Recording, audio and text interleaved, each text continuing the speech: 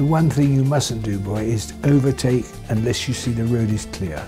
Because the people, go, you know, they really go crazy on this thing. So for goodness sake, don't overtake unless you can see you've got plenty of room to get through it.